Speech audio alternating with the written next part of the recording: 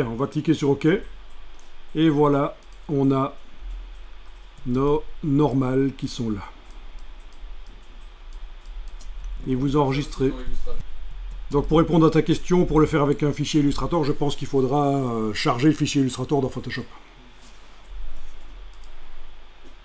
Donc le nom du fichier ici, c'était déjà le bon Oui, c'était déjà le gaufrage 02. Donc fichier enregistré, je mets à jour sur le disque dur, je peux le fermer et je vais dans dimension